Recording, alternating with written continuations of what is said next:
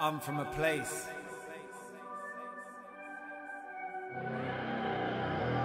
UK. London. Meridian Walk. I'm from a place where man do crime. From a bit where man bust case. From an end where man don't care what your name is. Us man don't watch face. I'm from the hood. Ice break grime. In love with the kick and bass. Some can't understand the bars that spray on the tune. They can't keep up with the pace. I'm from a place where man do crime. From a part you think is rough. From a bit where kids wanna be like Jay-Z or Biggie and Puff. From the ends that gets no love.